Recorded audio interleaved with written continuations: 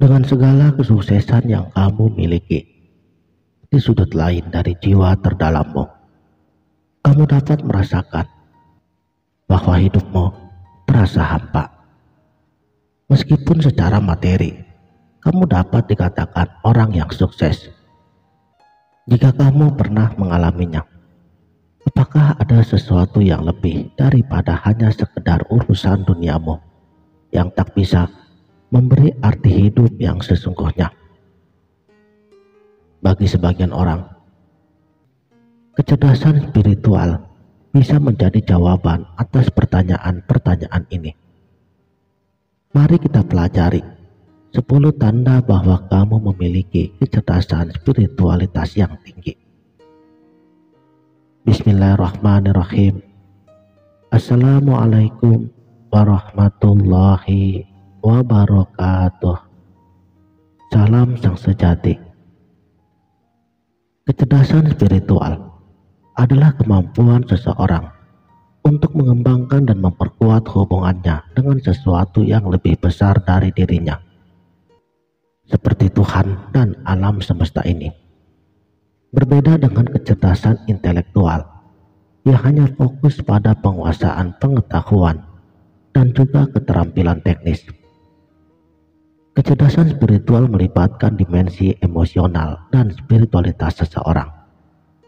Dan berikut ini adalah 10 tanda bahwa kamu sudah memiliki kecerdasan spiritual yang sangat tinggi. Pertama, kamu orang yang memiliki integritas. Kamu tahu bagaimana membedakan antara benar dan salah dan selalu memilih melakukan yang benar meskipun itu sangat sulit ataupun tidak populer. Kamu tidak akan pernah melakukan sesuatu yang membahayakan etika, moral, ataupun nilai-nilai pribadi dan sosialmu. Tanda yang kedua, kamu memiliki empati.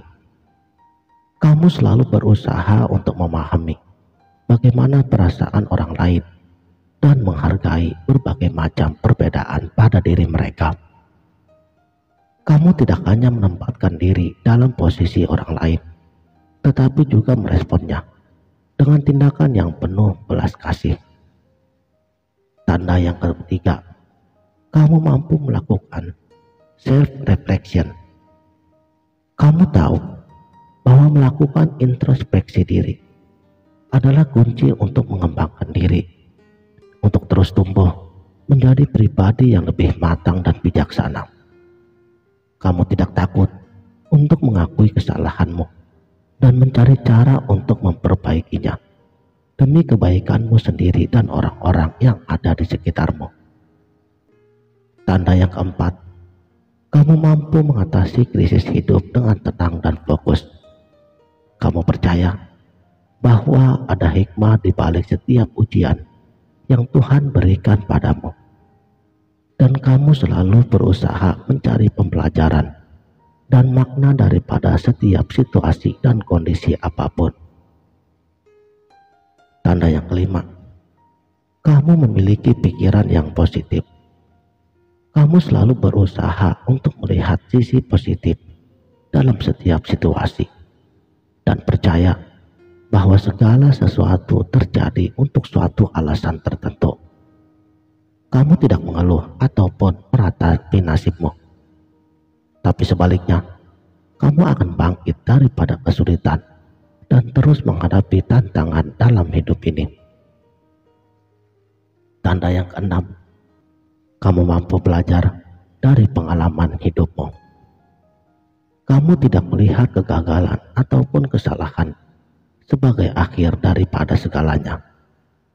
Namun justru kamu akan melihatnya sebagai sebuah proses belajar yang dapat terus membantumu untuk terus tumbuh dan berkembang menjadi seseorang yang lebih baik dari sebelumnya.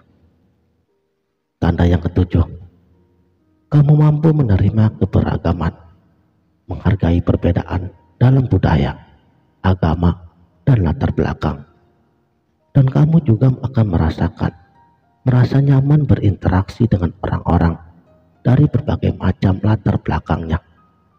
karena kamu tidak memandang rendah ataupun mengejek orang lain hanya karena perbedaan mereka. Tanda yang kedelapan, kamu itu orang yang rendah hati. Kamu tidak terlalu fokus pada dirimu sendiri, melainkan selalu peduli dan mendukung orang lain. Kamu merasa bahagia pada saat kamu bisa membantu dan membuat kehidupan orang lain menjadi lebih baik. Tanda yang kesembilan, kamu memiliki makna hidup, memiliki pengertian tentang tujuan hidup, dan kamu selalu bekerja untuk terus mencapainya. Kamu tidak hanya hidup sekedar menumpuk kekayaan ataupun mencari kesenangan, tetapi memiliki pandangan yang lebih luas dan menghargai nilai-nilai spiritual dalam hidupmu. Tanda yang ke-10, kamu spiritualis. Kamu memiliki hubungan yang kuat dengan sesuatu yang lebih besar dan percaya bahwa hidupmu memiliki makna yang lebih mendalam. Kamu tidak berhenti pada urusan duniawi semata, tetapi juga memperhatikan sisi spiritual yang membantu seseorang untuk meraih kebahagiaan dan juga kesuksesan hidup di dunia dan di akhirat. Itulah 10 tanda bahwa kamu telah memiliki kecerdasan spiritualitas yang tinggi. Kamu dapat terus memperkuat nilai-nilai tersebut dan menjadikannya sebagai pandangan hidup agar menjadi insan yang lebih baik dan berguna untuk banyak orang. Sekianlah, terima kasih telah menonton. Sampai jumpa di video berikutnya. Wabillahi taufik wal hidayah. Wassalamualaikum warahmatullahi wabarakatuh.